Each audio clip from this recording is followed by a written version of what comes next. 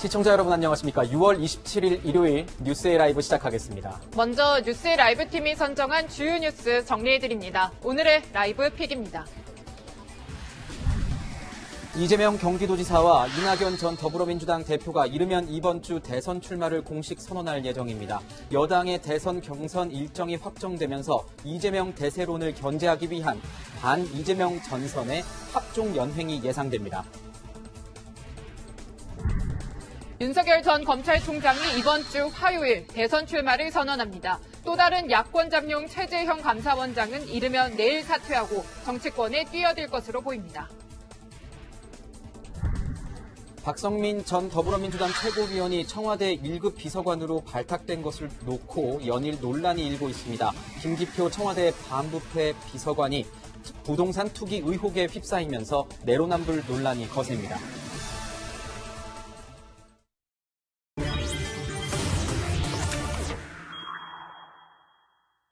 네, 오늘의 뉴스 분석 함께할 세 분 소개합니다. 김관우 개명대 교수, 이두화 변호사, 장혜찬 시사평론가 나오셨습니다. 어서 오십시오.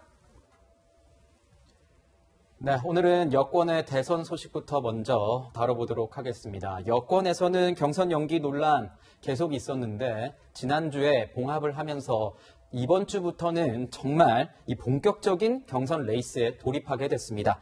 자, 여기서 궁금한 게 교수님, 네. 이뭐 연기하지 않았습니다. 송영길 대표가 이렇게 결정을 했는데 어떤 뭐 정치적 의미가 있을지 좀 궁금하네요. 일단 정치적 의미를 가장 이제 강력한 거는 이재명 지사의 어떤 대권 가도가 탄력을 받게 됐다는 네. 거죠.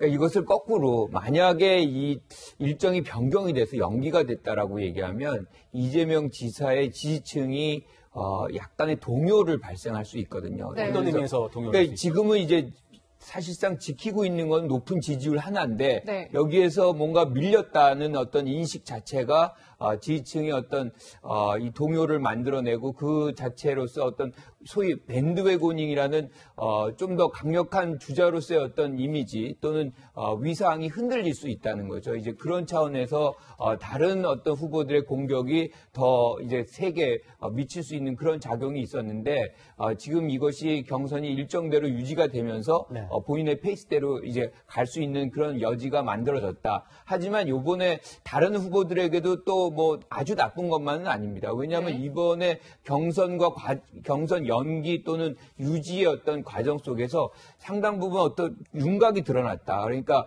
아, 이 경선을 연기하고자 하는 그런 세력들의 어떤 연대 네. 이런 것들이 처음으로 단초가 만들어졌기 때문에 향후에 어떤 결선 투표까지 이어졌을 때는 이들의 어떤 연합 합종 연행 뭐 네. 이런 것들의 어떤 시작점이 이번 기회에 만들어졌기 때문에 전반적으로 이제 시작됐다 게임이 이렇게 이제 평가할 수 있을 거예요. 네, 게임이 시작됐다라고 분석을 해주셨는데 이제 경선 세부 규칙을 정하는 논의가 이제부터 또 시작이 될 겁니다. 그런데 이 세부 규칙을 이제 논의하는 과정에서요, 뭐 각 캠프별로 조금은 신경전이 다시 있지 않을까 이런 분석도 나오거든요. 네, 아무래도 시기는 결정이 났지만 네. 흥행에 관련해서는 네. 여전히 물음표가 붙는다는 게 많은 후보들의 생각인 것 같습니다. 네. 2017년 대선 경선 때는 탄핵이라는 특수성 때문에 이 전국을 순회하면서 합동 연설회를 네 번밖에 가지지 않았습니다. 하지만 이 노무현 돌풍이 거셌던 2002년 경선을 보면 무려 16차례 합동 연설회를 가졌었거든요. 네. 그래서 아무리 코로나 시국이지만 온라인이나 비대면 등을 통해서라도 이 전국 순회 연설회를 많이 가져야 한다고 다른 후보들, 그러니까 네. 1위가 아닌 민주당 내에서 이재명 지사 외 다른 후보들이 주장을 하고 있고요. 네. 토론회 역시 기존의 밋밋한 토론 회가 아니라 주제를 정해서 경제면 경제, 외교면 외교 이런 네. 식으로 특정 주제를 집약시킨 토론회를 하자. 그리고 마지막으로는 청와대 홍보수석 출신인 윤영찬 의원의 주장인데 지금은 더불어민주당 경선 룰을 보게 되면 현재까지 출마 선언한 9명 중에서 6명을 컷오프로 걸러내고 이 6명이 본선까지 갑니다. 그렇죠. 그렇게 하지 말고 네. 과거의 오디션 프로그램 방식처럼 일주일에 한 명씩 떨어뜨리자. 그러면 이번 주에 누가 떨어지느냐에 따라 사람들이 훨씬 더 기대감을 갖지 않겠느냐. 또 결과적으로 6명보다 더 적은 숫자가 결선에 가야만 이재명 후보가 아닌 반 이재명 후보들이 좀 자율적으로 단일화를 이룰 가능성이 높아지기 때문에 이러한 후보 탈락 방식을 놓고도 아직까지는 설왕설래가 이어지고 있어서요. 지도부의 결단의 목이 더 많이 남아 있는 것 같습니다. 네, 네. 그렇군요. 뭐 아이돌 가수를 뽑을 때 요즘에 많이 하는 오디션 방식에 뭐 합숙 이런 얘기도 나오는 것 같더라고요. 어떻게 경선 일정이 짜여질지 좀 궁금하기도 한데 지금 보면은 이제 시기적으로 좀 이제 살펴봐야 될 것 같습니다. 민주당 같은 경우에 차기 대선 후보가 오는 9월 초에 선출이 되게 됩니다. 국민의힘에 비해서 60일 가까이 빨리 이제 어, 대선 후보를 뽑게 되는 건데 이런 시간표가 변호사님 예. 과거 여야 뭐 후보 선정일 비교해 보면 좀 어떻습니까? 많이 빨리 선출한 쪽이 승리할 확률이 좀 높아 보인다 이런 분석도 있더라고요. 이 말씀을 제가 방송에서 거의 처음 드렸던 기억이 나는데 왜냐하면 5월 달에 전재수 의원이 경선 연기론 얘기를 했거든요. 네. 그때 제가 어느 방송에선가 이재명 지사한테 꿀팁을 드리겠다 그러면서 이 얘기를 쭉 해드렸어요. 네. 14대 김영삼 대통령 때부터 거대 정당에서는 먼저 그 후보를 선출한 데서 본선에서 승리했다. 그러니까 어, 먼, 그 빨리 후보를 선출하는 게 유리하다고 얘기하는 게 어떻겠냐. 뭐 그런 얘기를 했었는데 아마 빨리 후보를 선출하는 쪽에서는 당내 결속을 빨리 다질 수가 있고요. 네. 그러니까 왜냐하면 당내 경선을 하고 나면 항상 후유증이 있어요. 네. 그래서 그 부분에 대해서 당의 역량을 총동원해서 당의 후보로 선출된 사람을 밀어주려면 일정 부분 시간이 필요해요. 마음을 다스릴 시간이. 갈등을 봉합할 네, 시간이 갈등을 필요하다는 봉합할 거죠. 시간이 필요하니까 먼저 후보를 선출한 쪽이 좀 유리할 수밖에 없고 그리고 또 국정감사를 거치거나 이제 보통 그 현역 의원들 중심으로 생각을 해봤을 때는 의원들이 이제 엄호도 해줄 수 있고 아니면 여당이고 국회의원이 이렇게 많은 경우에는 후보가 정해지면 그 후보의 공약에 따른 일정 부분 이제 그 입법 활동도 보여줄 수 있고 여러 가지 활약을 보여줄 수 있거든요. 그래서 수권 정당 그리고 그 후보가 준비된 대통령이다 이런 걸 좀 보여줄 여지가 크니까 아무래도 빨리 준비된 후보가 유리하다 이런 얘기를 하는데요. 근데 그런 부분도 있죠. 이렇게 후보가 범야권 같은 경우에는 일정 부분 밖에 있다 들어오고 단일화를 하고 이런 과정을 거칠 때는 꼭이 이 부분 이 시간표를 따르는지 그다음에 이런 부분이 통용이 될지 네. 이건 알 수가 없고요. 그리고 그때 제가 말씀드렸던 거는 저번에 교수님이 얘기하신 것처럼 일정 부분 이재명 지사한테 힘을 실어주기 위한 거니까 꼭 이제 어, 이게 결과론적으로 저희가 해석을 그렇게 하는 거지 이게 원칙이 될 수 있다 이렇게 말하기는 또 어려운 부분도 있는데요. 네. 아무래도 지금 말씀드렸던 것처럼 당내 갈등을 봉합하고 역량을 동원하는 데는 후보가 빨리 선출되는 게 좀 유리할 수도 있죠. 네, 이런 분석에 대해서 교수님은 어떻게 보십니까? 굉장히 비슷한 생각을 갖고 있어요. 네. 우리가 통상적으로 많이 이렇게 치중하는 거는 뭐냐면 어, 늦게 해서 컨벤션 효과가 나오면 그거를 여- 여세를 몰아서 어, 선거로 이어지는 그런 것을 꿈꾸는 것 같아요. 그러다 보니까 아, 늦게 할수록 유리하다 뭐 이런 생각. 특히나 검증의 시간이 짧아지면 짧아질수록 조금 더 유리할 수 네. 있다. 뭐 이런 생각을 하고 있는데 사실 국민들은 그렇게 생각 안 하거든요. 거꾸로 어, 검증이 잘 된 후보들에게 더 신뢰를 많이 줍니다. 그래서 네. 더긴 시간의 검증 기간을 어, 국민들에게 드리는 것이 사실상 더 유리할 수 있는 것이고요. 지금 말씀하신 대로 또 한 가지가 뭐냐면 어, 이게 경선이 끝나고 나면 항상 분열이 굉장히 많이 되거든요. 네. 근데 짧은 기간 동안에 그 선거가 있, 게 되면 그 분열을 사실상 수습할 수 있는 충분한 시간이 없어요. 그러다 보니까 어, 자기 진영에서의 어떤 어, 이 통합 이런 것들의 어떤 강도가 또는 뭐 정도가 약화될 수 있는 가능성이 매우 높습니다. 그래서 조금 더 시간을 갖게 되면 그 사이에 이제 균열된 것들을 막 이제 통합을 하고 원팀이 돼서 좀더 어, 이 선거에 어, 모두 함께 집중할 수 있는 그런 여력이 생기는 거죠. 네. 네, 좀 더 빨리 뭐 선출하고 검증도 받고 이러는 게 좋지 않냐라는 분석을 해주셨는데 어, 이제 민주당은 경선 이 논의가 어느 정도 마무리된 만큼 예비 후보 등록이 시작이 됩니다. 그리고 어, 다음 주에 아주 중요한 일정들이 속속 많아요. 그리고 하나 저희가 좀 더 말씀을 드리자면 이재명 지사 어, 출마 선언을 하겠다라고 하는데 보니까 공교롭게도 또 윤 전 총장의 어떤 정치 참여 선언 일하고 비슷한 시기더라고요. 뭐 이재명 경기지사가 언제 선언을 할지는 아직 모릅니다. 네. 다음 주 초 네. 28, 29, 30일 중에 그 하루로 네. 네. 예상이 되고 있는데 아무래도 29일과 겹치지는 않을 확률이 높겠죠. 굳이 겹치게 날짜를 잡을 이유가 없는 것이고 그러면 이 취재진의 어떤 네. 이 촬영이라던가 이런 여러 가지 기사가 나오는 것도 다 분산되기 때문에 전후로 태기를 하지 않을까 싶습니다. 아직은 예상입니다만 그런데 상대적으로 이재명 지사 같은 경우는 이미 대권에 한번 뛰어들어봤던 물론 본선에 오르지 못했지만 지난번 경선에 뛰어봤던 정치인이고 이 대선 선언을 사실상 한 상태에서 레이스를 하고 있다고 해도 과언이 아니기 때문에 네. 상대적으로 관심은 29일에 출마 선언을 한다고 알려진 또는 정치 선언이라고 알려진 윤석열 전 검찰총장 측에게 조금 더 많이 집중될 수밖에 없는 형식이고요.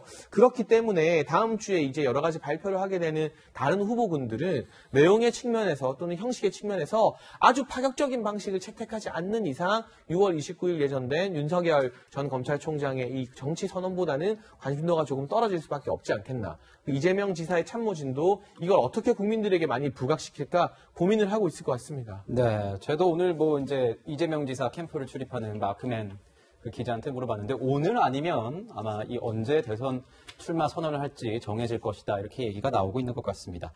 자 이재명 지사 아까 교수님께서 말씀해 주실 때 이재명 지사에게 이 경선 연기가 일정 그 연기되지 않은 것은 유리한 측면이 어느 정도 있다 이렇게 말씀을 해주셨는데 이 과정에서 그래도 문제점이 드러나는 게 어떤 여권 주류 이제 친문계와의 어떤 반감 이런 것이 확연히 드러나긴 했습니다. 이것을 어떻게 봉합하고 가져오느냐 이것도 하나의 과제가 될 수 있을 것 같은데 어떻게 보세요? 경선의 기간 동안에는 이런 거는 어쩔 수가 없습니다. 캠프별로 이제 나눠져서 경쟁을 하다 보니까 뭐 이런 어떤 사- 현상은 어, 반드시 나타날 수밖에 없는 것이고요. 그 이후에 즉 경선이 끝난 이후에 이것을 어떻게 이제 마무리를 잘하고 한 팀으로 만들어내느냐의 그 몫인데 저는 이 부분에 대해서는 이 민주당 지지층 여권 지지층에게는 일정 부 학습 효과가 있다. 학습 효과. 그게 언제냐면 2007년 대선이거든요. 그러니까 아, 2007년 대선에서 사실상 정권 교체가 되면서 그 이후에 아, 이 민주당 아, 특히나 지금의 여권이 어떤 어, 경험을 했는지 노무현 전 대통령이 이제 돌아가시고 뭐 그러한 과정들 굉장히 험난한 과정들을 거쳐왔어요. 그래서 어, 그러한 과정들이라는 것은 결국에는 경쟁은 치열하게 하지만 후보가 선출되면 하나의 팀으로 어, 형성이 돼서 어, 본선에서 승리를 다시 정권을 재창출하는데 어, 모두 다 힘을 모아야 된다는 것에 대한 학습 효과가 분명히 있다 이렇게 봅니다. 네, 뭐 교수님이 앞서서도 분석을 해주셨지만 어, 반 이재명이라고 할까 이재명 외 다른 후보들 간의 어떤 유대감이 조금은 커진 측면이 있습니다. 그리고 어, 이재명 지사를 공략하는 어, 후보들의 이 어떤 발언도 점점 세지는 것 같고요. 특히 정세균 전 총리가 적극적이에요. 지금 뭐 5차 재난 지원금을 두고 SNS 설전을 이어가고 있고 또 정 전 총리는 뭐 설익은 기본소득론에 정치 실험장이 돼서는 안 된다 이런 얘기를 했더라고요 변호 사님. 뭐 앞으로 이제 쭉 과정들이 있겠습니다만은 본격적으로 어떤 대세론을 견제하기 위한 다른 후보들의 합종 연행 어떻게 좀 전망하십니까? 어, 이번에 사실 이제 저희 정치 평론가 중에서는 이재명 지사 쪽과 생각이 비슷한 분들이 많은 것 같은데 이제 전현직 의원이나 아니면 당협위원장을 맡고 있는 그 민주당에서 당협위원장을 맡고 있는 분들 중에서는 인간적인 인연 때문에 다른 진영을 돕고 있는 분들도 있어요. 네. 그런 분들이랑 이제 좀 허심탄회하게 얘기를 해보 거나 이러면 사실 이번 일이 그 경선 연기론이냐 아니냐 이 부분에 대해서 세력 다툼이 있었다고 뭐 방송에서도 같이 방송하면서 얘기를 대놓고 하시는 분도 있어요. 저희는 이제 권력 투쟁이라고 하지만 본 여권 인사는 세력 싸움이다. 세를 과시해서 세를 동원해서 과시했다 이런 표현을 쓰기도 하던데 네. 그러니까 현역 의원들은 66명이 의원총회 소집을 요청하기도 하고 의원총회 과정에서는 현역 의원은 상당수 66명 이상의 의원들이 경선 연기론을 주장하기도 했다 그러거든요. 그래서 그분들 얘기로는 그 내부 인사들 얘기로는 뭐 일부의 얘기일 수는 있지만 이번 그 경선 연기론 이 부분이 당원 당규 대결로 하기로 했다 이게 어, 완전히 원인이 해소됐다라기보다는 네. 갈등이 그냥 내부의 수면 아래로 가라앉았다. 네. 봉합됐다, 일단락됐다 이런 표현을 쓰더라고요. 그래서 그런 부분도 있으니까 그런 생각을 가지신 분들도 있는 거예요. 그러니까 정세균 전 총리나 이낙연 전 총리 뭐 다른 다른 후보들도 얘기를 안 하면 서운하겠죠. 뭐 김두관, 뭐 이제 이광재 지사나 어, 뭐 이런 분이나 사람들 그죠? 계셔가지고. 예. 그래서 그런 분들을 돕는 사람들이 또 있으니까 그분들은 그런 입장이고 또 사실 이게 이제 예비 경선해서 컷오프를 하고 나서 어, 어 그한 1위 후보가 결선 투표에서 만약 1위 후보가 50%를 과반을 못 넘으면 또 결선 투표를 해야 되거든요. 그렇죠. 런 네. 과정에서 사실 이재명 지사에게 일정 부분 이제 다른 생각을 갖고 있는 사람, 다른 그 후보를 지원하고 있던 사람들은 합종 연행의 가능성이 여전히 남아 있는 거죠. 그렇기 때문에 연기를 하자고 얘기를 좀 해봤던 거 아닌가 이런 생각도 드니까요. 그래서 이 부분은 앞으로 살펴보겠지만 네. 그렇지만 저희가 생각하기에는 별 큰 이변은 없지 않을까. 민주당의 대선 경선 과정은 그냥 예측 가능한 과정이어서 컨벤션 효과도 그렇게 크게 있을까? 뭐 우리가 생각하는 그대로 진행되지 않을까 싶습니다. 네. 궁금합니다, 교수님. 네. 지금 보면은 뭐 추격하는 후보들에게는 다소 시간이 부족한 것 아니냐 이런 얘기도 있고, 이제 컷오프 얘기도 하셨는데, 이제 세 명이 탈락자에 포함이 될 건데, 뭐 정세균 전 총리는 이런 얘기도 했습니다. 연대라는 우리 민주당의 이 어떤 시스템상, 경선 시스템상 연대라는 것은 자연스럽게 흘러가서 언젠가는 될 것이다 이렇게 얘기도 하고요. 합종 연행, 그리고 그 사이에 벌어졌던 이런 갈등들, 어떻게 당의 경선의 그런 컨벤션 효과에 뭐 도움이 될지 아니면 마이너스 효과가 될지 좀 궁금해요. 그러니까 송영길 대표가 강조했던 게 두 가지 있습니다. 어, 제 2막에 있어서 본인의 역할은 어, 흥행과 경선의 흥행과 공정성을 담보하는 것이다. 저는 이 두 가지는 반드시 어, 이 대표가 해야 되는 것인데 네. 지금 국민 경선의 가장 전형적인 흥행의 사례는 2002년의 국민 경선이거든요. 2002년이요. 그렇죠. 네. 그때 노무현 어, 후보가 당선이 될 것이라고는 아무도 생각 안 했어요. 네. 네. 그때 당시에 뭐 어, 이인재 대표가 네. 굉장히 유력했고 하나가 후보 뭐 굉장히 유력했습니다. 그것을 이렇게 순회 경선을 통해서 역전의 드라마를 만들었거든요. 그래서 저는 흥행을 원한다면 사실상 그 방향으로 가면은 어, 많은 이제 이슈들이 불구어지면서 사실상 이것이 어, 지금 우리가 예측한 대로 안 갈 수도 있습니다. 그래서 지금 예정대로 예컨대 지금의 지지율이 그대로 반영이 안 될 수도 있는 상황이 어, 어느 정도 만들어지는 것이 국민들의 이목을 끄는 것은 유리하다라고 생각을 하고 아까 말씀하신 대로 어, 이슈별로 토론회를 갖는 것도 굉장히 중요해요. 지금 네. 재난지원금만 해도 어, 각 후보마다 생각이 좀 다르거든요. 네. 그런 것들을 갖고서 어, 예컨대 뭐 이렇게 토론회를 한다 그러면 실질적으로 국민적 관심들이 어, 모아지면서 흥행에도 좀 도움이 되지 않을까 이렇게 생각합니다. 네, 뭐 이쯤에서 저희가 좀 준비한 대선 주자 지지율 같이 보면서 얘기 이어나가면 좋겠는데요.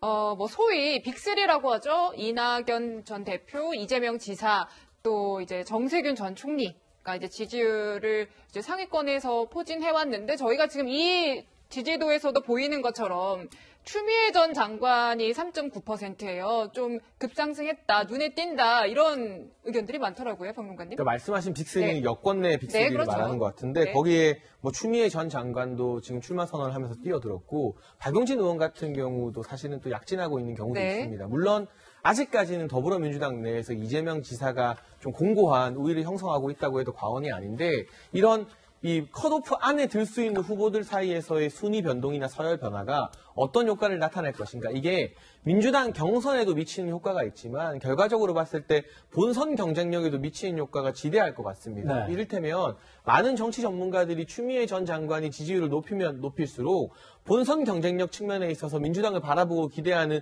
중도층과 무당층이 외면할 확률이 높다. 왜냐하면 추미애 전 장관 자체가 당성 지지층을 좀 대변하는 이미지가 되었기 때문에 네. 그 부분이 이재명 지사라던가 본선을 준비하는 입장에서 보게 되면 호재가 아닌 악재일 수도 있다 이런 생각이 들고요. 실제로 유인태 전 국회 사무총장 민주당의 올해 원로 아닙니까? 정치 경력 30년이 분인데 이분이 추미애 전 장관 나온 게 민주당 입장에선 도움이 안 된다. 오히려 윤석열 전 검찰총장 빚내주러 다시 나온 것 같다. 이렇게 직접적으로 평가를 할 정도로 당 안팎에서도 여러 가지 우려의 목소리들이 나오고 있기 때문에 이 현상을 글쎄요 민주당 당원들이 아닌 특히 지금 우위를 점하고 있는 이재명 지사 지지층은 조금 불안하게 바라보고 있지 않을까 싶습니다.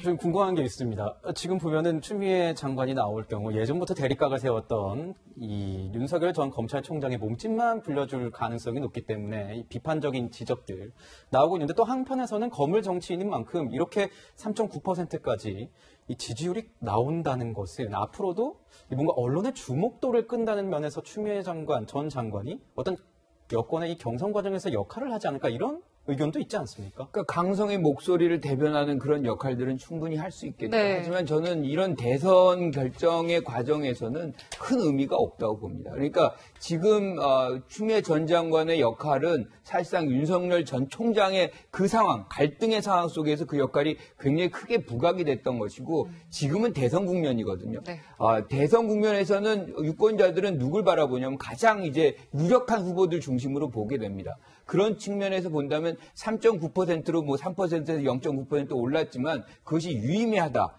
뭐 그렇게 평가할 수 있는 수준은 아니거든요. 하지만 이렇게 이제 강성의 목소리를 내게 되면 윤석열 전 총장의 어떤 지지 세력이 결집하는 효과는 일부 발생할 수도 있겠다. 뭐 그 정도 평가할 수 있을 것 같습니다. 네, 근데 이제 추미애 전 장관 같은 경우에 저렇게 뭐 검증도 거치지 않은 윤석열 전 검찰 총장에 대해서 만약에 그냥 나오게 된다면은 이 윤석열 전 검찰총장 박근혜 대통령보다 더 심한 경우가 있을 수 있다 이렇게 견제하고 나서면서 윤석열 전 검찰총장의 이슈를 본인도 부각시키고 있는 측면이 어느 정도 있는 것 같긴 하네요. 네, 지금까지 이제 원칙대로 가는 민주당 경선 하나하나 분석해봤고요. 향후 세부 규칙 마련에 있어서는 캠프별 신경전이 예상됩니다. 야, 이제 여권 알아봤으니까 야권도 와봐야겠죠. 야권 대선 소식 다뤄보도록 하겠습니다.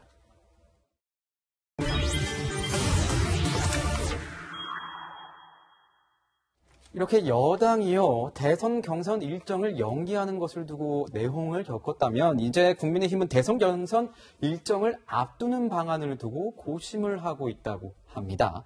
어떤 의미인지 좀 궁금해요. 경선 일정을 앞당기는 게 어떤 효과, 지금 국민의힘에 어떤 효과가 있기 때문에 이런 고심을 하는 건지 변호사님 어떤 의미가 있습니까? 저는 여러 가지 의미가 있죠. 이제 우선은 지금 명분을 내세우는 거는 어떻게 얘기를 하냐면 민주당은 그럼 벌써 이제 어 6월 28일부터 30일 사이에 후보 등록하고 그 다음에 7월 9일부터 11일 사이에 여론조사 해가지고 뭐 컷오프 발표하고 이제 계속 이게 그 대선 경선이라는 컨벤션을 위해 서 이제 계속 노력하고 있다고요. 근데 그런 데 대해서 그러면 그 국민의힘은 8월 말 뭐 이렇게 8월 이렇게 하면 좀 늦은 거 아니냐 이런 얘기를 하면서 너무 시차가 있고 그리고 이 부분에 대해서 국민의힘도 아까 이제 그 결과론적으로 분석했을 때는 거대 정당에서는 좀 빨리 그 후보를 선출하고 나서 갈등을 봉합하는 과정도 필요한 거 아니냐 이런 얘기를 하는 분도 있고요. 그리고 그런데 이제 이 부분에 대해서는 어떤 부분이 있냐면 어, 당내 갈등 봉합하고 역량을 동원하는 건 중요한데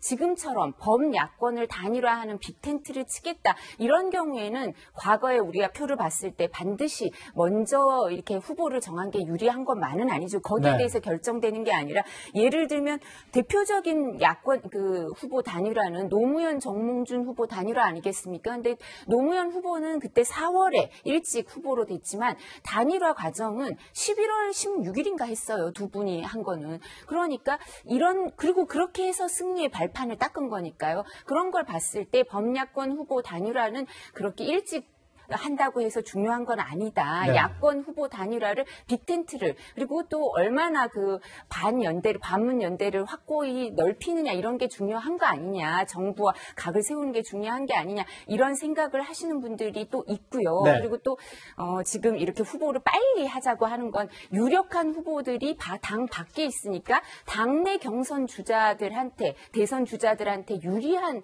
어, 고지를 점하려고 하는 거 아니냐. 예. 그래서 오세훈 후보 때 보니까 이제 당내에서 빨리 선출하고 그리고 당내 후보가 이제 안철수 후보랑 하니까 이겼던 그런 효과를 생각해서 하는 것 같은데요. 이 부분은 제가 생각하기에는 이렇게 우는 띄었지만 마음대로 될 것 같지는 네. 않습니다. 왜냐하면 이번에는 정권 교체 열망, 당내 당심이나 아니면 야권 지지자들의 정권 교체에 대한 열망이 너무나 강하기 때문에 본선 경쟁력이 누가 있느냐, 네. 어떻게 되느냐지 당내 갈등 이거 그렇게 중요하지 않을 거예요. 아마 후보가 정해지면 네. 범야권 후보 단일화가 되면 다 할 수 있으니까 이런 부분은 당내 그 전략 정치적인 공 정치 공학적인 선택이라고 좀 폄하될 수 있는 그런 선택인 것 같습니다. 네, 지금 분석을 해주셨는데 내일부터 중요한 일정들이 줄줄이 예고가 돼 있습니다. 어, 지금 뭐 보도에 나온 것들을 종합을 해보면은 내일 당장 최재형 감사원장이 사퇴를 할 것이다라는 이제 얘기가 나오고 있고요. 아까도 말씀을 드렸지만 윤석열 전 총장 29일에 정치 참여 공식 선언이 있다라고도 해요. 뭐 여권에서도 이제 중요한 이제 출마 선언들이 줄줄이 있을 예정이고요.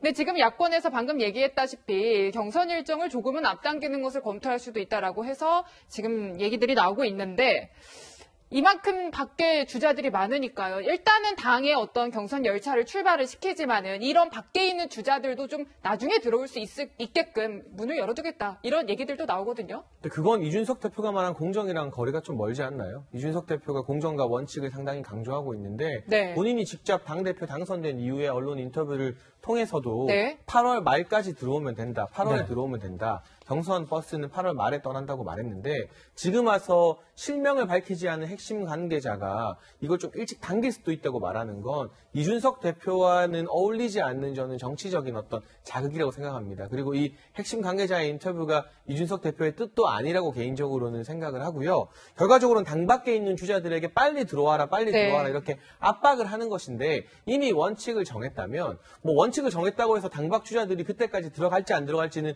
제가 알 수 있는 부분은 아니겠습니다만 그 원칙대로 뚜벅뚜벅 걸어가는 게 기존의 기성 정치와는 다른 이준석식 정치의 스타일인 것 같고 그 사이에 우리도 빨리 당길 수 있다 안 들어오면 문을 닫는다 아니면 일단 시작한 다음에 중간에 문을 열어서 태워주겠다 이렇게 말하는 건 지난 한 달 동안 보여줬던 이준석 스타일의 정치는 아닙니다. 그러니까 대표는 바뀌었지만 아직까지 국민의힘 핵심 관계자나 당직자들은 과거의 어떤 이 기성 정치권 사고에 머물러 있기 때문에 이런 별도의 개별 인터뷰가 나온 것 같고 저는 이 인터뷰 자체가 크게 뭐 야권의 대선판을 흔들거나 경선 일정에 영향을 미칠 거라고 생각하지는 않습니다. 네. 지금 보면 윤석열 전 총장 얘기 계속 나오고 있습니다. 윤석열 전 총장 말씀드린 대로 6월 29일 이제 모레죠. 정치 참여 선언, 대권 출마 선언 할 것이다. 이렇게 얘기가 나오고 있는데 원래는 뭐 이제 다음 달 2일에 그 장모와 관련된 재판 이후에 참여하지 않을까 이렇게 얘기가 나왔는데 29일로 좀 이르게 나오는 것 아니냐 이런 얘기도 있었습니다.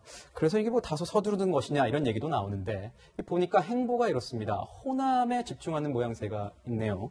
저 5.18 광주 민주화운동 당시 시민군 입장에서 이제 지도자 입장에서 싸웠던 김종배 전 의원을 만나겠다 뭐 이렇게 얘기도 했고 또 이외에 호남 인사들을 캠프에 영입했다는 소식 들려오고 있습니다.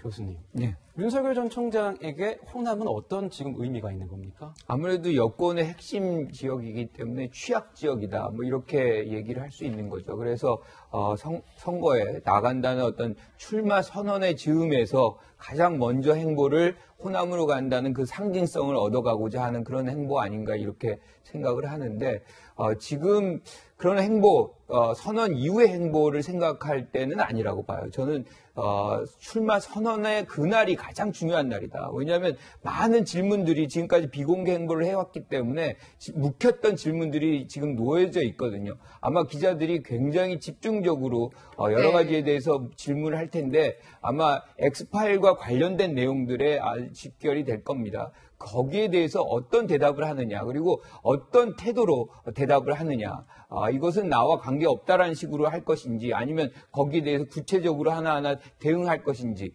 그것과 향후에 이제 나타나는 어떤 진실과 이 괴리가 있을 때에는 이 자체가 사실은 윤석열 전 총장의 발목을 잡을 수 있는 그런 장면이거든요. 그래서 지금 윤석열 전 총장이 해야 되는 모든 것은 사실은 29일 날 아, 지금 뭐 정치 선언을 하는 그 과정 속에서 답변해야 될 내용을 충실하게 정리하는 것이다. 이렇게 생각합니다. 네, 뭐 29일에 정말 많은 시선이 쏠리는데 이제 그 이후에 이제 사람들이 관심을 갖는 거는 언제 국민의힘에 입당을 하겠느냐 이겁니다. 지금 여러 가지 얘기들이 많이 나와요. 그런데 압축해서 요약을 해보자면 한 세 가지 정도로 저희가 정리를 해볼 수 있을 것 같습니다. 하나는 출마 선언 뒤에 예상보다는 좀 일찍 전격 입당하지 않을까 이거고요. 두 번째는 추석 연휴 전에 국민의힘 경선 앞두고 참가한다. 세 번째는 제3지대 머물다가 연말에 아주 극적으로 단일화를 하지 않을까라는 시나리오가 나오는데요. 평론가님 저희가 어디에 무게를 두는 게 좋겠습니까? 사실 1번과 2번은 큰 차이가 없어요. 1번과 2번의 공통점은 국민의힘 경선 버스에 탑승한다는 국민의힘의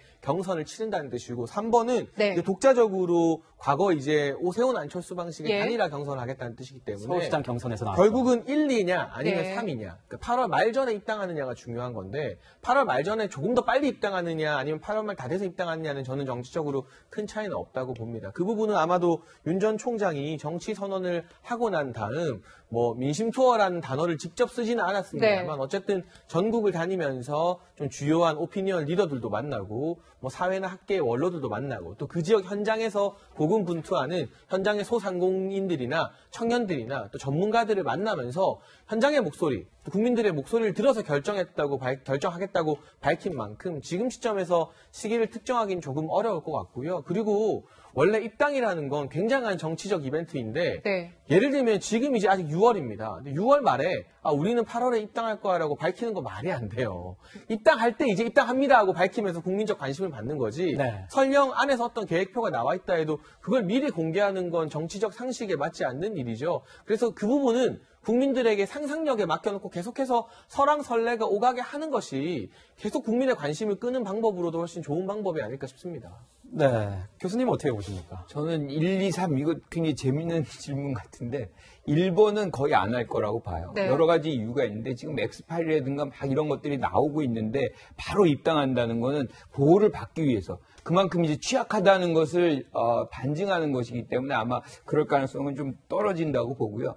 또 홍준표 의원이 지금 복당을 했잖아요. 그렇죠. 어, 조기에 입당을 할 경우에는 거기에 대한 노출, 어, 검증의 과정, 내부적 검증 과정도 혹독하게 치를 수밖에 없기 때문에 그 부분도 또 하나 있고요. 또 하나가 최재형 감사원장인데 만약에 이제 사퇴를 하고 조기 입당을 한다면 사실상 고위 공직자들이 한꺼번에 어, 이렇게 어떻게 보면 정책 중립성을 위배하면서 어, 이렇게 어, 입당을 하는 과정. 이게 도매급으로 평가받을 수 있는 그런 어떤 인식이 있기 때문에 저는 조기 입당은 아닐 것 같고 마지막 3번의 어떤 부분은 이제 빅텐트 후에 네. 이제 마지막 경- 상- 순간에 이제 어, 이, 이 결선 투표 이제 결선 경선을 하는 그런 장면인데 그때까지 견딜 수 있겠느냐. 그러니까 이게 이제 당 밖에서 11월까지 또는 12월 11월까지 12월까지 이제 견뎌야 되는데 네. 그 정도의 어떤 능력이나 어, 여- 내공이 있는지 그 부분은 좀 의심스럽고 따라서 지금 저는 아마 이제 당이 주장하는 경선의 시기에 올라타서 어, 네. 당의 보호를 받으면서 아마 선거를 치를 가능성이 있다 이렇게 두 번째를 선택합니다. 네, 윤석열 전 총장이 어떤 선택을 할지는 뭐 차차 지켜보면 될 것 같고요. 자, 이렇게 보면 윤석열 전 총장이 뭐 입당하냐, 입당하지 않느냐, 이렇게 설왕설래 말이 많은데, 국민의힘 내부에서도 윤석열 전 총장 아직 입당하지는 않았지만, 유화적, 유호적, 어, 그 굉장히, 어, 윤, 윤 총장을, 윤 전 총장을 이렇게 뭐라 그럴까요? 도와줄 수 있는, 도와주고 있는 이런 인사가 있습니다. 김재원 최고위원이었는데요. 엑스파일에 대해서 이렇게 엄호하고 나섰습니다. 지금 윤석열 전 총장에 대한 속칭 엑스파일이라고 불리는 이런 문건들이 광범하게 유포가 되고 있다고 합니다. 엑스파일의 본거지는 바로 송영길 대표였습니다. 입당하지 않은 인사라고 해서 그냥 두고 볼 수가 없고 이 민주당의 대응에 대해서는 적극적으로 우리가 나서야 된다고 생각을 합니다. 그래서 윤석열 엑스파일이라고 쓴 거는 정말 치명적인 실수예요. 그때 송영길 엑스파일이라고 썼어야 네, 윤석열 엑스파일이 아니라 송영길 엑스파일이라고 썼어야 되는 것 아니냐 이렇게 엄호하고 나섰는데 두 사람의 인연이 보면 이렇게까지 나올 수 없는 인연으로 보이긴 해요 겉으로는 왜냐하면 청와대 정무수석 박근혜 정부에서 청와대 정무수석을 지낼 때 김재원 최고위원 같은 경우에 국정원 특활비 관련해 가지고 뭐 귀소된 적도 있어요. 저도 사석에서 만나면 그때 굉장히 재판이 많아서 고초를 많이 겪었다 이런 얘기도 본인이 하곤 했었는데 지금은 적극 이렇게 엄호하고 나서는 이유가 뭐가 있을까요? 어떻게 좀 얘기를 들어보셨습니까? 예, 저희도 뭐 어, 최근엔 뵌 적이 없는데 그 최고위원 출마하기 전에 뵌 적도 있고 그렇죠. 근데 그만큼 정권 교체에 대한 열망이 가장 강한 거죠. 본선 경쟁력이 가장 우수한 사람에 대해서는 누구를 막론하고 보호해야 된다. 그리고 정권 교체를 꼭 해야겠다. 이런 생각이 강한 거고요. 저는 이번에 대선 그 이제 주자급의 그 사람들, 당내 인사들 아니면 그 최고위원들 이런 분들이 발언하는 걸 보고 당원들이든 국민들이든 여러 가지 평가를 했을 것 같아요. 예를 들면 당 밖의 인사지만 안철수 대표라든가 원희룡 지사 당내 인사죠. 원팀을 이루어야 된다. 혼, 윤, 그 윤석열 전 총장 개인에 대한 공격이 아니다. 그러니까 윤석열 전 총장이 화살을 맞고 나면 뒤에 있는 다른 사람도 화살을 맞게 된다. 네. 이런 얘기를 했었기 때문에요. 이런 생각을 아마 저는 일반 당원들은 훨씬 많이 하고 있을 것 같아요. 당 지도부도 뭐 당원들이 그런 생각을 많이 하고 있다. 또 야권 지지자들이 그런 생각을 하고 있고 옹호해 줘야 된다. 이런 생각을 하고 있다는 걸 알 거고요. 근데 당 밖에 있다고 해서 야권 지지자로 분류되는 사람에 대해서 나몰라라 할 수가 없고요. 네. 옹호를 해줘야 되고요. 그리고 또 약간 또 슬픈 얘기기는 하지만 아까 이제 홍준표 우리 김 교수님은 홍준표 전 대표의 경우에는 이제 윤석열 전 총장이 당내로 들어오면 공격을 할 거다 이러셨는데 당 밖에 있어도 그냥 공격은 하시는 것 같아요. 그래서 그런 내외를 있고, 가르치지 않는 네, 그래서 네. 이렇게 아 왜냐하면 되게 유력한 경쟁이 되는 경쟁자라고 생각하시니까 네. 그런 건데요. 그래서 아마 전략가 중에 한, 명- 한 분이고 당 지도부의 구성원이기 때문에 정권 교체에 대한 열망이 누구보다 강해서 그 본선 경쟁력이 가장 우수한 자원에 대해서는 보호해 줘야 된다 이렇게 생각하시는 것 같습니다. 네. 네, 이어서 어, 홍준표 의원이 윤 전 총장을 겨냥하는 발언 저희가 준비했거든요. 한번 같이 들어보시죠. 인터넷 쇼핑몰에 주문할 때 신상품을 주로 찾죠. 집에서 배송이 돼가지고 실제미래 확인을 해보니까 이거는 흠의해서 안 되겠다. 그럼 반품을 하는 거예요. 그게 소위 국민적 검증 과정입니다. 이제 마다들이 예. 그러시니까 예. 집안 어른들 걱정이 많죠. 뭐 원래 집안이 잘 되면 마다들이 튼튼해야 되는데 예. 뭐 말썽을 많이 부렸지 않습니까? 그러니까 이제 예. 걱정이 많죠. 이준석 대표가 한마디 했습니다. 예. 드디어 올 것이 오고야 말았습니다. 총기 난사식 그냥 그 공개 공격을 하니까. 네, 뭐 역시 이제 김재원 최고위원이 이제 홍준표 의원의 발언에 대한 어떤 걱정 발언을 같이 함께 저희가 준비해서 들었는데 어 29일에 보니까 홍준표 의원도 정책 보고서 발표를 한다라고 해요. 또 29일이 아까 말씀드렸지만 윤 전 총장 어, 선언을 하는 그런 날이니까 네. 딱 같은 날 하는 게 일부러 그러는 거겠죠. 어떻게 글쎄요, 앞으로 뭐 네. 사실은 일부러 날짜를 맞췄는지 아닌지는 알 수 없습니다만 시간대는 좀 다릅니다. 네. 홍준표 의원 같은 경우는 오전 10시쯤 행사하는 걸로 알고 있고 윤석열 전 검찰총장은 네. 오후 1시로 알고 있는데 어찌 되었건 그날의 관심은 또 윤석열 전 검찰총장에게 갈 네. 수밖에 없다 보니까 오전에 행사에서 홍준표 의원이 윤 총장을 향해서 센 발언을 하지 않을까 염려하는 당내 인사들이 꽤 많은 것 같더라고요. 저는 이 국면에서 또 다른 국민의힘 대선 주자인 원희룡 제주지사의 진가가 참 보이는 것 같습니다. 이 홍준표 의원을 향해서 남을 해코지하는 낡은 정치는 물리쳐야 된다. 혼자 튀겠다, 개인기에 집착하면 팀이 패배한다. 첫째도 둘째도 셋째도 정권 교체를 목표로 해야 된다. 물론 검증할 건 검증해야 되지만 적어도 보수 야권 후보군 내부에서 지나친 네거티브는 지양해야 한다는 그러한 분명한 의지를 원희룡 지사가 밝혔기 때문에 네. 이게 정치가 예전에는요 2등, 3등 후보들이 막무가내로 1등을 때립니다. 그러면서 1등과 대립각을 세우면서 자기 존재감과 지지율을 높이는 게 네. 과거의 정치 방식이었다면 저는 이준석 대표 당선 이후로 정치의 패러다임이 많이 바뀌고 있는 것 같거든요. 이 대표가 최근에 또 봉하마을 다녀와서 노무현 전 대통령을 폄훼하지 않겠다고 네. 말한 것도 그렇고 1등 후보를 때려서 주목받는 게 아니라 본인만의 가치, 어떤 고유한 뭔가를 내놓아야 이제는 국민들이 호응하는 새로운 시대가 되었지 않았나. 그리고 홍준표 의원이 인지도 측면에서 절대 밀리는 분은 아니에요. 그러니까 관심보다는 그전과는 달라진 무엇. 이제 빨간 넥타이 대신에 파란색 넥타이 매시더라고요. 넥타이 색깔뿐만이 아니라 발언이나 메시지 컨텐츠에 있어서도 빨간색에서 파란색 가깝게 뭔가 많이 변했구나. 이런 걸 알리는데 조금 더 주목해야 되지 않나 싶습니다. 29일은 야권에서 봤을 땐 여러모로 big day인 것 같습니다. 뭐 관심이 좀 가는데요.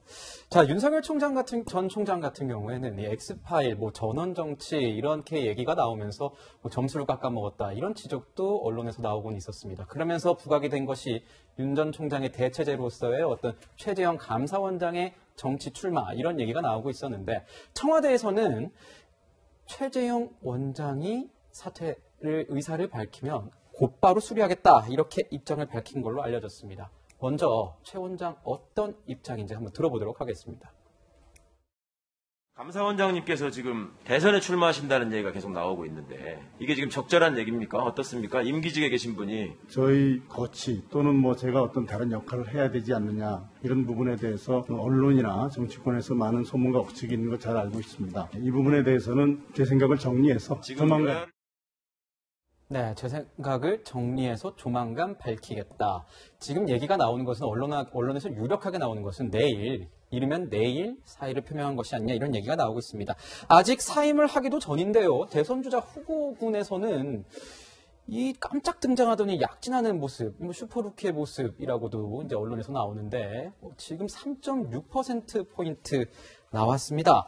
최 원장의 돌풍은 교수님 뭐 어떻게 봐야 되겠습니까? 그만큼 야권 후보에서도 특정 후보를 그렇게까지 이제 확신을 갖지 못하는 이런 지지층들이 아직 남아 있다. 뭐 이런 것들을 좀 얘기를 할 수 있는데 저는 이 최재형 어, 원장이 지금 사퇴를 하고 정치에 참여한다면 이거는 굉장히 사실은 좀 어, 오만한 것이다, 잘못된 것이다 이렇게 네. 생각을 합니다. 지금 어, 대선이 8개월뿐이 안 남았는데 이 지금 고위공직, 특히나 임명직이고 어, 이 부분에서 임기가 보장된 부분이거든요. 이런 측면에서 본다면 윤석열 전 총장이 훨씬 더 타당한 거예요. 왜냐하면 어, 그 기관의 어떤 정책 중립성을 위해서 7월 달이 임기였음에도 불구하고 3월 달 이때 이제 사퇴를 먼저 해서 어, 그 기간 동안을 뭐 어느 정도 보장을 해준 건데 지금 이분 같은 경우는 바로 나오자마자 바로 어, 출마를 선언한다. 그러면 감사원의 정책 중립성은 어떻게 되는 겁니까? 네. 그러니까 이런 부분은 굉장히 저는 부적절하다라고 생각을 하고 또 한 가지가 대통령이란 자리가 그렇게 8개월 또는 뭐 7개월 이렇게 준비해가지고 되는 그런 자리, 그렇게 가벼운 자리 아니거든요. 그런데 이렇게 해서 출마를 선언하고 어, 대권 레이스에 뛰어든다는 것은 그만큼 오만하다는 생각을 지울 수가 없는 거예요. 그래서 저는 이분 같은 경우는 좀 출마를 좀 안 했으면 하는 바람이 개인적으로 있습니다. 이게 선례가 돼서 자꾸 이렇게 대통령직이라는 굉장히 무거운 자리에 그냥 쉽게 뛰어드는 사람들이 늘어가면 이게 한국 정치에 이제 바람직한 것인가 회의적 시각이 있습니다. 네, 교수님께서 이제 개인적인 의견을 전제로 이제 말씀을 해주셨고 여기서 여쭤봐야 될 게 있을 것 같습니다, 변호사님. 야권 입장에서 여권 입장에서는 오만한 수 있다, 오만해 보일 수 있다 이렇게 얘기를 했는데 야권 입장에서도 그렇습니까? 야권 입장에서는 인적 자원이 풍부해지는 게 바람직한 거기도 하지만요. 교수님이 지적하신 부분에 대해서 저는 최재형 감사원장이 출마를 한다면 충분히 국민들한테 해명을 하고 납득을 받아내야 된다고 생각을 합니다. 그렇군요. 그러니까 이 부분에 대해서 사실 그렇지만 일정 부분 근데 왜 그러면 윤석열 전 총장, 최재형 감사원장, 현직 이제 감사원장인데도 어느 순간부터 갤럽 조사에서 할 때 주관식으로 했는데 이름이 나오기 시작한 거잖아요. 네. 그렇다면 그거는 국민들이 일정 부분 원하는 사람들이 그만큼 있다는 건데 왜 그렇게 됐을까에 대해서 사실 정부도 반성을 해야 되는 거죠. 그러니까 왜 저렇게 어, 인큐베이터 정부도 아니고 계속 여권 야권 주자들을 키워내고 있으니까요. 그러니까 그리고 최재형 감사원장도 정치를 하고 싶어 했던 분이 아니거든요. 네. 저희도 여기 K1이라 그러죠. 경기고 나오고 서울 법대 나온 뭐 전형적인 엘리트 법조인이고 올곧은 분인데 뭐 정치를 막 하고 싶어서 한 선택했다고 저는 별로 생각 하지 않아요. 그러니까 감사원장을 하다가 어, 감사원장을 하면 사실 정부의 정책이 집행되고 수립되고 수립되고 집행되는 과정을 광범위하게 공무원들 그 직무 감찰이라든가 회계 감사를 통해서 알게 돼요. 네. 정부를 정부에 대해서 많은 걸 알게 됐는데 왜 저분이 저렇게 저 무리하다는 얘기를 들으면서도 나와서 출마를 만약 출마를 한다면 결심을 하게 됐을까 이런 생각을 하게 되는 면도 있는 거고요. 그러니까 지지하는 국민이 나오는 거죠. 근데 앞으로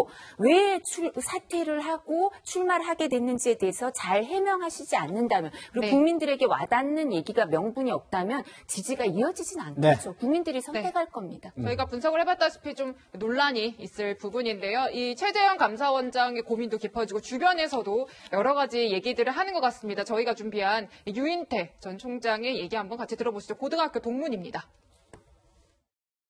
부친도 말린다고 하고 좀 아는 사람들은 아유 그건 정, 정치에 안 맞는 사람이라고들 보던데 사람이 이래 보면 소위 그렇게 범생이는 그렇게 꼭 정치에 맞는 게 아니에요. 저한테는 뭐 고등학교도 동문이고 그래서 지금은 또 주변에서들 막 부추기고 특히 또 정의와 의장이 아마 그동안 공을 많이 들인 걸로 알고 있어요. 네, 네, 뭐 정의와 전 의장이 이제 주변에서 여러 가지 얘기들을 해주고 있다라는 얘기도 나오고 또 이제 경기고등학교 71의 동문이 좀 이렇게 주축이 돼서 지지 그룹을 형성한다 이런 얘기들도 나오더라고요. 네, 야권에서는 김무성 전 대표가 자장 역할을 할 수 있다는 이야기도 이미 퍼지고 있거든요. 물론 사실관계는 확인해봐야 되고 실제로 사퇴 후 출마를 할지 안 할지도 아직은 네. 미지수입니다만 그런데 아무리 훌륭한 분들이나 정무적 감각 경험이 많은 분들이 있어도 선거는 결국 후보 본인이 치르는 것이고요. 이 최재형 원장 같은 경우는 미담 제조기라는 별명이 네. 있지 않습니까? 그래서 네거티브 할 구석이 많지는 않지만 이 유인태 전 사무총장이 범생이라는 표현을 썼잖아요. 그게 정치에 안 맞는다는 건 맷집이 있어야 된다는 뜻입니다. 정치판이 제가 직접 출마는 안 해봤지만 없는 이야기도 만들어내고 있는 이야기도 사실과 다르게 왜곡해서 부풀리는 그런 일들 저도 요즘에 참 많이 겪고 있는데 그런 걸 견뎌내기 위해서는 정말 산전수전 다 겪어보고 이 네. 하나의 어떤 생활뿐만이 아니라 한번 맞아도 보고 때려도 보는 그러한 맷집이 필요한 것인데 최재형 원장 이전까지의 인생 스토리를 보면 우리가 존경할 만한 법관이나 고위 공무원으로서는 흠잡을 구석이 단 하나도 보이지 않지만 없는 이야기도 만드는 정치판에 왔을 때 본인이 그걸 겪어낼, 견뎌낼 맷집이 있을까? 이 부분에 대해서 유인태 전 사무총장이 그래서 아직은 좀 잘 모르겠다. 성향으로 봤을 때는 안 맞을 가능성이 있다고 우려의 메시지를 내는 게 아닌가 싶고 그럼에도 만약 출마를 하신다면 그 옆에 있는 분들이 정말 든든한 보호막 역할을 잘 해줘야 될 것으로 보여집니다. 네, 최재형 원장 같은 경우에는 아직 뭐 정치에 출마하겠다 이런 의사도 밝히지 않은 경우가, 경우이기 때문에 저희가 말씀을 드리기 좀 조심스러운 측면이 있습니다. 최재형 원장이 어떤 선택을 하는지는 좀 더 지켜봐야 될 것 같습니다. 네, 지금까지 야권에 빠르게 돌아가는 대선 시기 저희가 짚어봤습니다.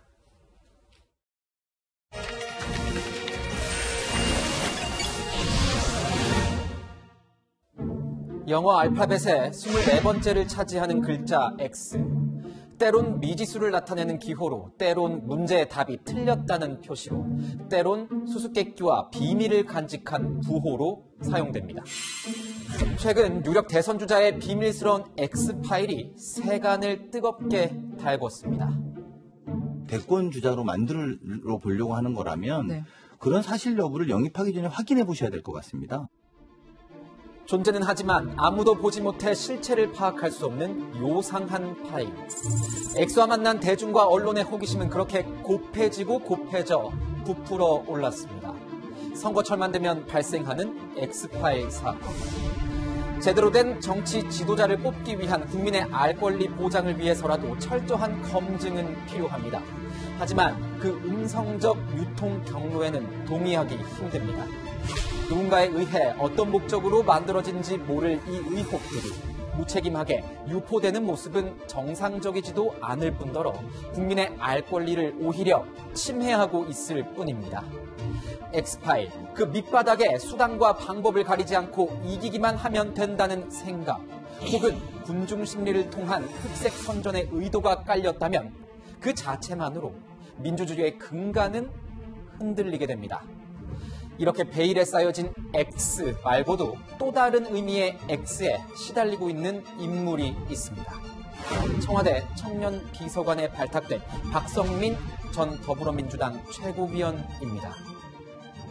정치권의 어떤 큰 변화의 어떤 바람, 대통령 주변에도 그런 청년의 목소리를 바로 전달할 수 있는 창구가 필요했던 게 아닌가 싶습니다.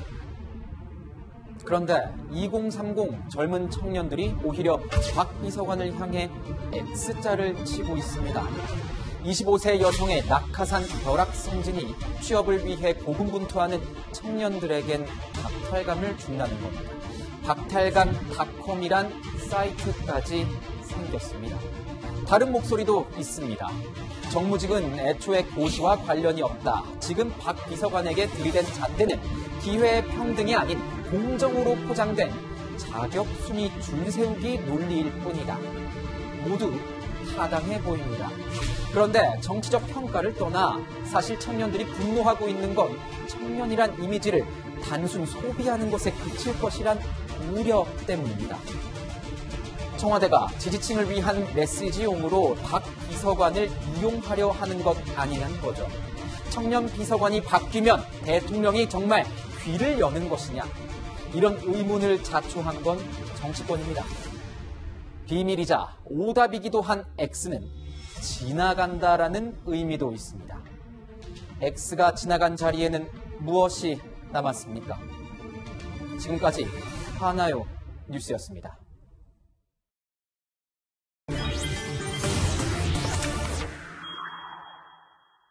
네, 오늘은 저희가 프로그램을 정치 이슈로 좀 꾸며봤습니다. 정치의 계절이 돌아온 것 같은데요. 청와대 논란 좀 알아보도록 하겠습니다.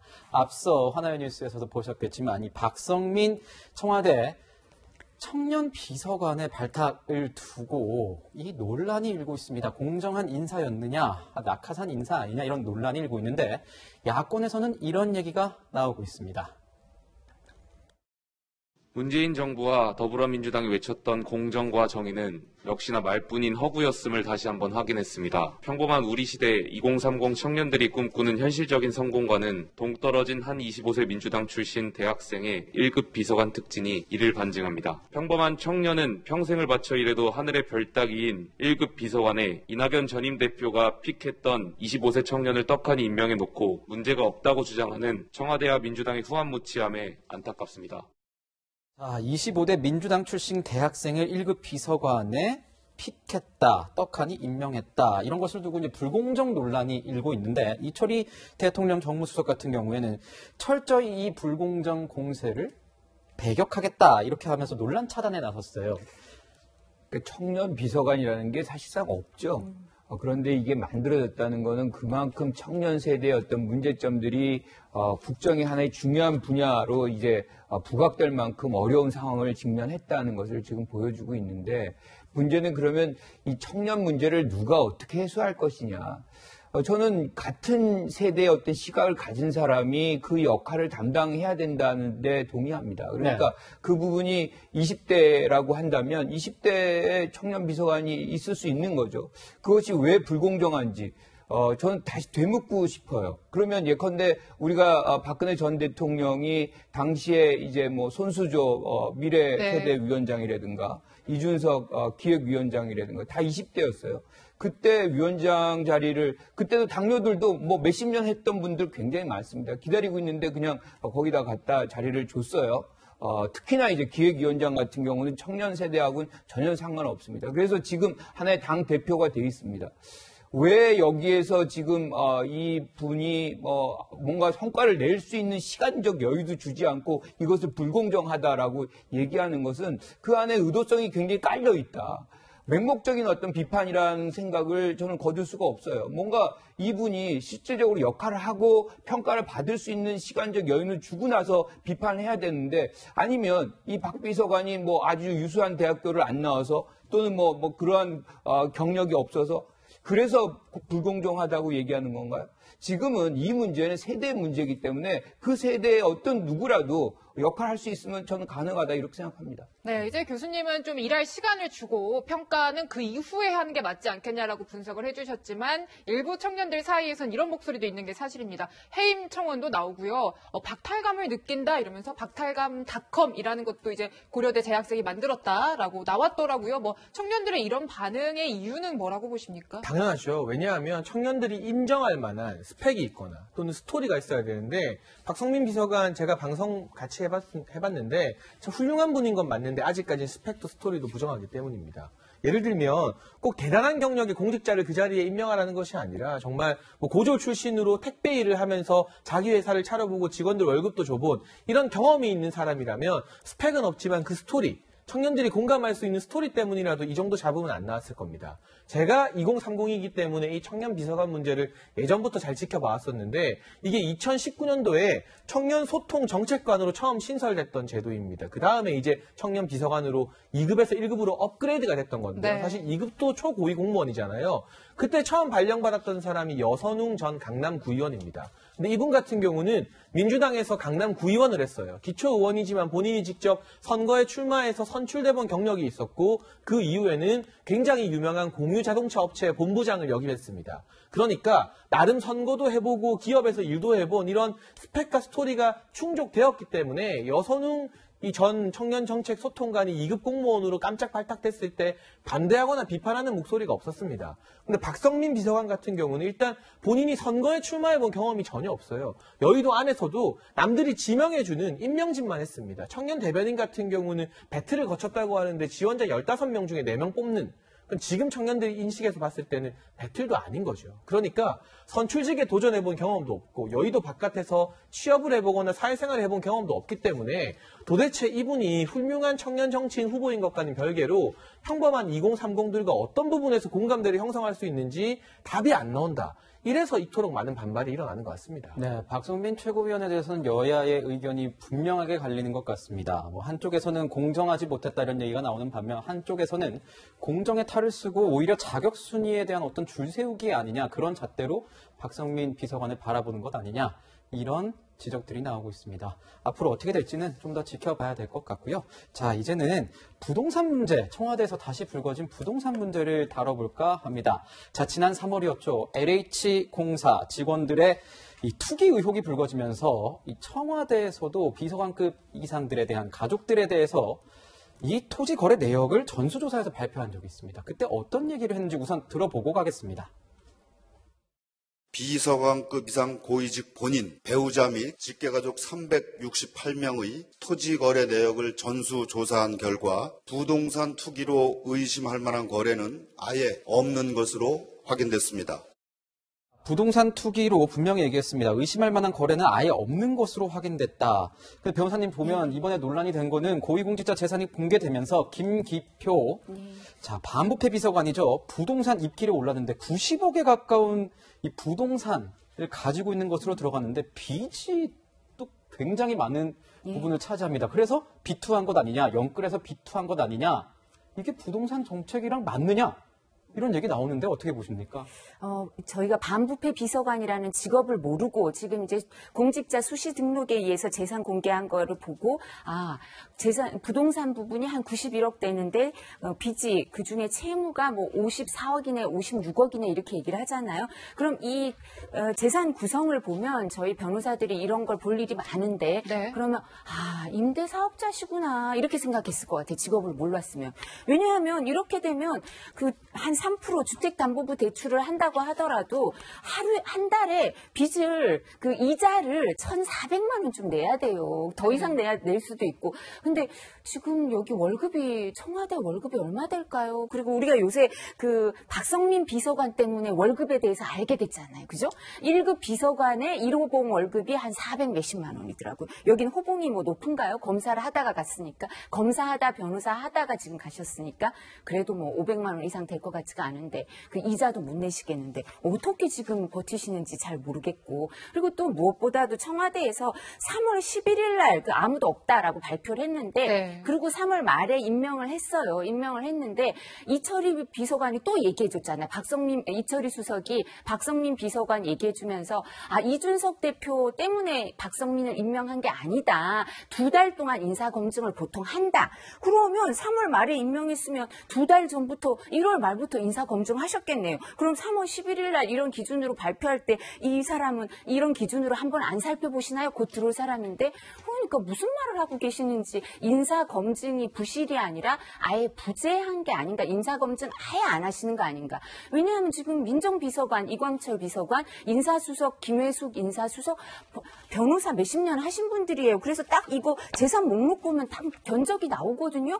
근데 왜 이분을 하셨는지 다른 훌륭한 분들도 민변 출신이나 철학을 국정 철학을 공유하고 반부패 비서관으로 공직 기강을 세울 수 있는 분들 많을 텐데 왜 하필이면 이분을 하셔서 이렇게 국민들한테 상처 주는 하, 이렇게 막 네. 50몇 억씩 대출 받아서 부동산을 사야 되나 보다 이런 생각을 하게 하시는지 잘 모르겠습니다. 지금 뭐 김기표 비서관의 부동산 재산을 두고 정치적으로도 논란이 확산되고 있습니다. 정의당에서도 이제 경질을 해야 된다, 뭐 사과를 해야 된다 이런 목소리까지 나왔어요. 교수님 뭐 청와대 인사 검증 시스템 방금 변호사님이 문제가 있다라고 지적을 해주셨는데 교수님의 견해가 어떤지 궁금합니다. 저는 동의합니다. 네. 그러니까 지금 이게 67억짜리 건물은 네. 거의 그 굉장히 부자 아니고선 사실 가질 수가 없는 거죠. 그리고 거기에 50억을 대출이, 네. 대출을 받아서 한다는 거는 그만큼 이자 부담이 굉장히 클 텐데 뭐 할 수는 있겠죠. 거기서 나오는 뭐 월세 같은 거 받아서 할 수는 있겠지만 굳이 이런 분을 어 이렇게 뭐 임명을 해야 되는지에 대한 왜냐하면 이분이 다른 분이 아니라 청와대에서 근무하고 이게 하나의 어떤 상, 이제 징표가 돼서 사실상 많은 사람들이 어, 이 분의 어떤 것을 통해서 그 정권을 평가하는 경우가 있거든요. 네. 그런데 이런 분이 그러면 어, 상식적으로 많은 국민들이 아 동의할 수 있는 분인가? 그러면 저는 동의받기 굉장히 어렵다라고 생각을 하거든요. 그래서 어, 저분의 어떤 능력과는 뭐 떠나서 무관하게 어떤 그런 어떤 처신이 어, 사실상 적합하지 않은 그런 부분이 있음을 저는 어, 생각을 하고 어, 인사 과정에서 어, 이것과 어, 이런 어떤 기준을 적용했었어야 되는 거 아닌가 뭐 이런 생각을 합니다. 네, 지금 보면은 이 토지 중에요. 이 과- 경기도 광주에 있는 이 송정동 임야 가지고 얘기가 좀 많습니다.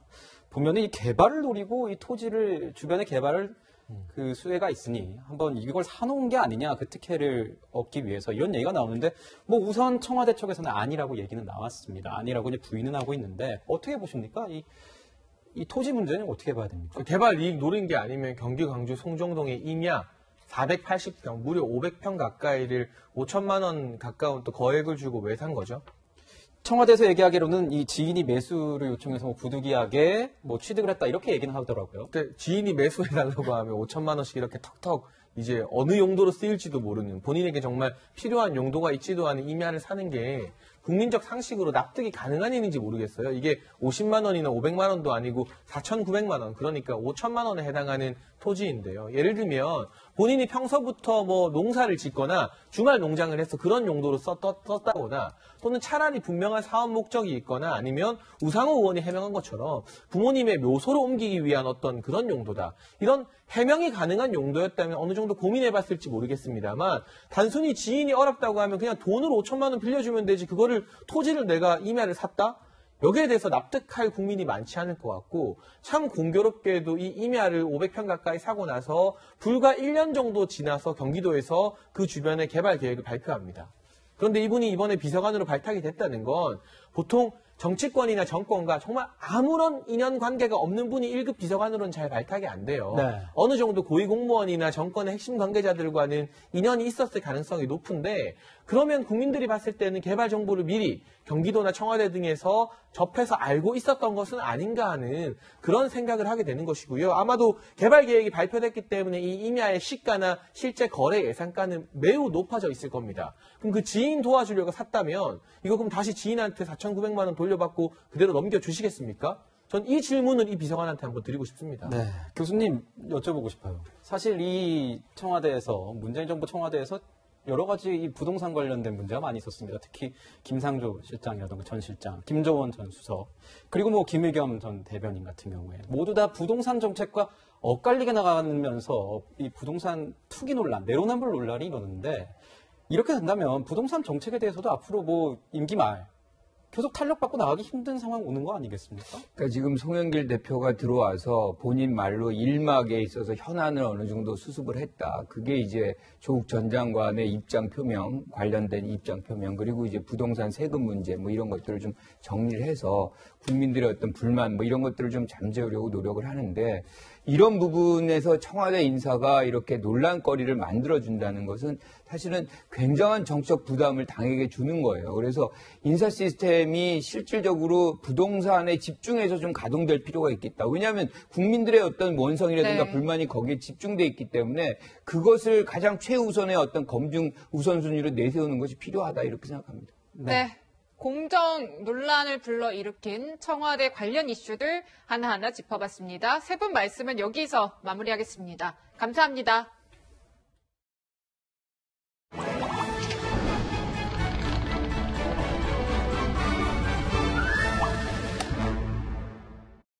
네, 영화와 함께하는 시간 신의 한수 시작합니다. 이현용 기자 나왔습니다.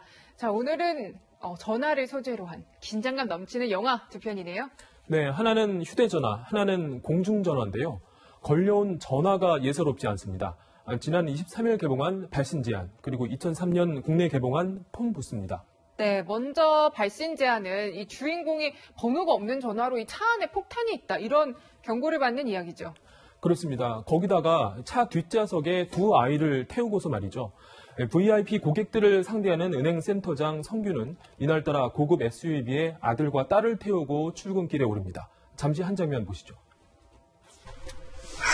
인정돼 도대체 뭐가 있다는 거예요? 그거는 유암식 폭탄입니다. 그러니까 지뢰에 앉았다고 생각하면 이해하기가 아주 편할 거예요.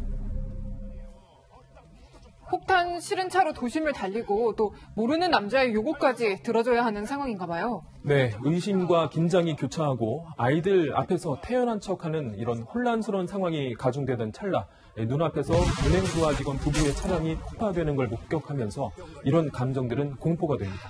네, 이 영화의 원작이 어, 스페인 영화죠. 그렇습니다. 이 5년 전 국내에 개봉한 레트리뷰션, 우리말로는 응징이라는 제목의 영화가 원작인데요. 네. 극한의 긴장을 끝까지 몰아붙이는 힘은 이 배경이 바뀌어도 크게 달라지지 않았습니다. 국내에선 부산 관광지의 배경이 눈길을 끌고요. 하지만 후반부에서 이 딸이 아빠를 위해 목숨을 거는 상황 이후에 이 부녀의 정을 확인하는 다소 민망한 대화가 오가고 차량 폭파 장면은 나아지지는 않았습니다. 원작과 달리 더 나아간 결말을 놓고서도 두 편을 모두 보신 분들이라면 호불호가 갈릴 것 같습니다. 그렇군요. 이 영화가 그동안 사실 조연으로 굉장히 강한 인상을 남긴 배우 조우진 씨가 또 주연을 했잖아요. 네, 혼자서 극 대부분을 이끌어간 건 이번이 처음이라고 하는데요. 연기 경력 23년차 배우도 카체이싱 장면에선 진땀을 흘렸다고 합니다. 돌발 상황 때문에 벌어질지 모르는 그런 긴장감, 안에서 벌어지는 영화 속 긴장감 같은 것들 같이 이제 합쳐져서 저한테 이렇게 오다 보니까 쉽지 않은 현장이었어요, 정말. 네. 다음 영화는 2003년 개봉작인 폼보스입니다. 당시에 상당히 어, 실험적이었던 영화로 기억이 나요. 네, 폼부스는 이 전화를 소재로 작은 공간과 그 의문의 목소리가 이끄는 이야기만으로도 스릴러 장르의 성취가 가능하다는 걸 보여준 당시로선 실험적인 연출이었습니다. 네, 이 도대체 공중전화에서 어떻게 협박이 가능한 거죠? 뉴욕 대로변에서 이 공중전화를 쓴 남성이 뒤돌아선 순간 어디선가 걸려온 전화를 받는데요. 말을 듣지 않으면 총을 쏘겠다고 하거든요. 한 장면 보시죠. Right, do you hear me? There'll be cops swarming all over this block. You think so? Let's see. One, two, that won't help you. Three. 카메라가 주인공을 수시로 클로즈업하고 또 주인공의 시선을 교차해서 보여주면서 극중 인물의 감정을 고스란히 전달합니다. 아니 뭐 그렇게 저렇게까지 또 협박을 받는 뭐 특별한 이유가 있는 겁니까? 그 이유는 이 주인공이 저렇게 당하는 이유는 남몰래 저지른 잘못들 때문인 것으로 추정이 됩니다. 이런 잘못들은 많은 사람들 앞에서 고백하라 이런 지시를 받거든요. 하지만 범인의 동기는 끝까지 명확하게 나오지 않아서 개연성이 다소 떨어지는 게 이 영화의 드문 약점으로 꼽힙니다. 네, 지금까지 전화를 소재로 한 스릴러 영화 두 편 소개해드렸습니다. 이현용 기자 잘 들었습니다.